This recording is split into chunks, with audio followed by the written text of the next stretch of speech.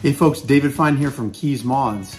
I've got another tropical bug in my hands. This is a little bit less of an exciting bug and a little bit more of a common bug, um, but it is one that we confuse with some of our more rare species down in Florida Keys. This is the mournful sphinx, Enyo lugubris, and it is a bug that we find actually occasionally in the Florida Keys and we're gonna tell you what we know about the mournful sphinx as it exists in Florida Keys in South Florida. Um, guys, check out this bug, check out the video. We're gonna tell you what we know about the mournful sphinx. And uh, we also are big on education here at Keys Moths. And so we want you to check out our website, keysmoths.com, where we've got all 600 moths of the Florida Keys there photographed for you so you can see them and all the information that we're going to share here with you about the mournful sphinx and all other 600 species from the Florida Keys is there on our website. So check out the website, links in the description. But also we want you to get into community around the study of Lepidoptera and the butterflies and moths of the southern United States. And for that reason, we are pointing everybody at the Southern Lepidoptera Society. And I got their website linked in my description. And you can join the Southern LepSoc for a very, very reasonable fee. And um, you get newsletters and you get to meet really, really cool and knowledgeable people that can help you find awesome bugs. So guys, but without further ado, let's get to a, a discussion on Enyo lugubris, the mournful sphinx. Let's check it out. All right, our guest of honor is the mournful sphinx. And one of the characteristics of this moth uh, is that it, it is actually a dimorphic sphinx species, which means that the males and females actually look different. And very few sphingids are actually dimorphic. Sometimes it's very difficult to tell the boys and the girls apart. But in this species, they have some very, very unique um, characteristics that you can identify them in. Obviously, the females have that big, huge abdomen where they store all their eggs. But if you don't have the big, thick abdomen, maybe the females laid eggs already, there are a few other characteristics that we're going to show you right now, how to tell the difference between the boys and the girls. First of all, the females have the very pronounced spot on the forewing. Okay, very, very pronounced spot.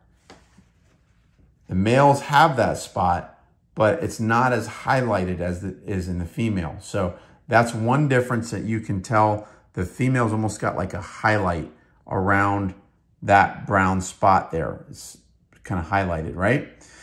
The second characteristics is more on the male that, that both species, uh, both the male and the female have a, a line that come kind of comes down in the middle of the forewing from top to bottom, right on the left side of that spot. But the male has a much more exaggerated line. Okay, much more exaggerated line. And that are two, those are two of the main differences. The wing shape is a little different, but the color is very similar. They call it the mournful sphinx, obviously because of its drab, dull colors. That would be indicative of somebody that would be mourning the loss of a loved one. They would wear dark colors to a funeral or something like that. Um, so that's the idea behind the name, I believe. But this species has several similar species down here in South Florida and Florida Keys, and I'll show you a couple of them.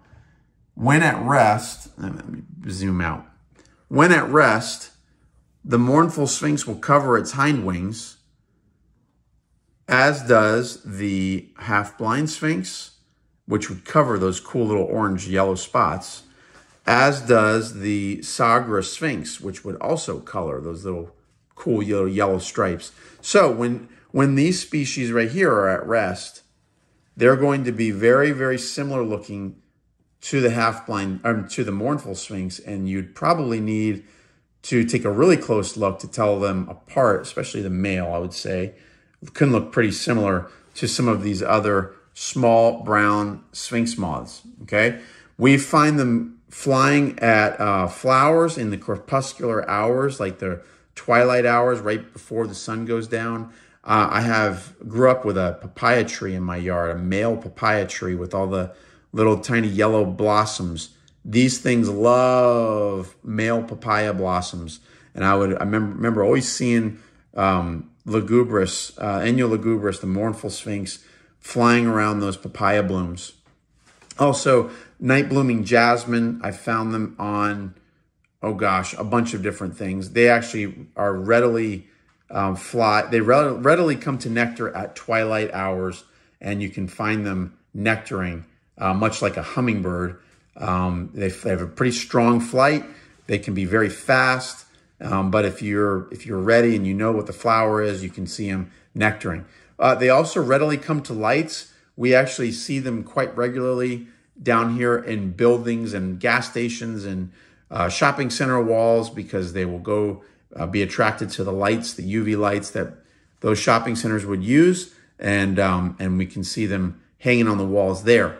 And we see them at gas stations down the Florida Keys and shopping centers as well.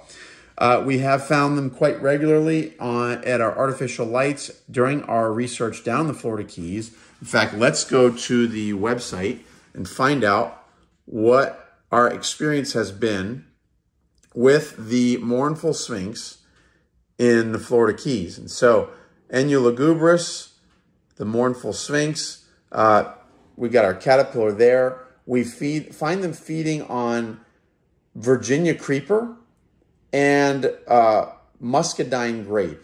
And so I, I, think they eat a multiple multitude of different grape vines. I think they'll eat possum grape and cissus and things like that. Um, but that's the caterpillar right there, guys. They got the little classic sphinx moth looking horn. Here you can see the difference between the boy and the girl on the website. Uh, we have found them on many islands. Key Largo, Bahia Honda, Big Pine, no name. And, um, but here's a strange thing. Not in every month. You know, we've only found them typically in the, in the spring and then in December.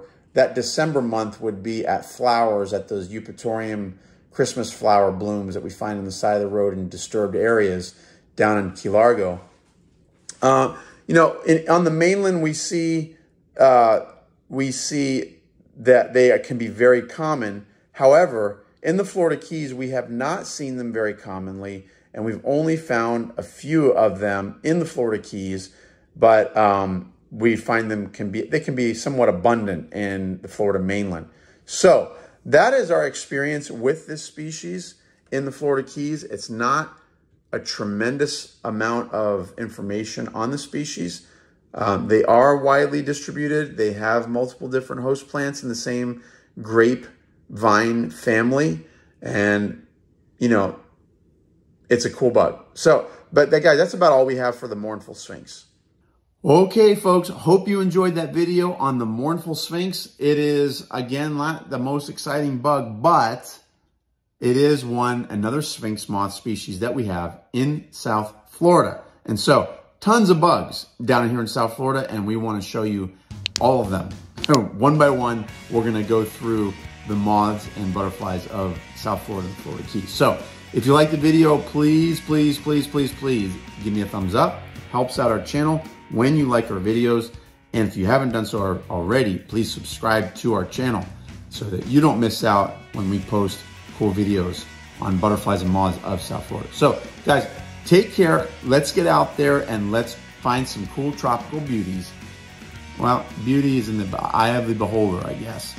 The Enyo lugubris sphinx, the morning sphinx, I think it's pretty. Let's go find some. Take care, guys.